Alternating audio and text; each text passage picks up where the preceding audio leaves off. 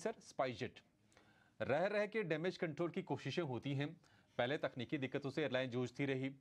आ, बीच में कुछ कुछ फाइनेंशियल क्रंचेस भी आ गए। लेसस के साथ भी विवाद हुआ। आप जरा ये बताइए कि स्पाइसजेट सर आपको कैसी लग रही कंपनी ये? और जो मौजूदा स्थिति है क्या उसमें आ, हमारे हिसाब से नेगेटिव्स और पॉजिटिव्स थोड़ा बैलेंस आउट हो रहे हैं।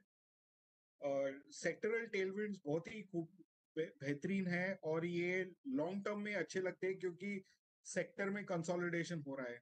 तो जो हाई रिस्क इन्वेस्टर्स है, ये शेयर आप डिक्लाइंस पे एक्यूमुलेट कर सकते हैं।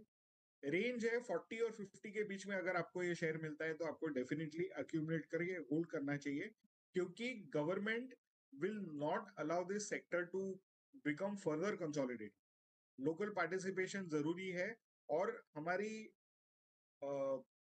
एक्सपेक्टेशन है कि इसमें कोई व्हाइट नाइट शूटर या स्ट्रेटेजिक इन्वेस्टर आके स्टेक ले सकता है in the medium to long term तो ये स्टॉक uh, जो रेंज मैंने आपको बताया 40 और 50 है लेकिन क्या होता है ना आजकल दिखने को मिलते हैं सब भाव देखने को मिलते हैं।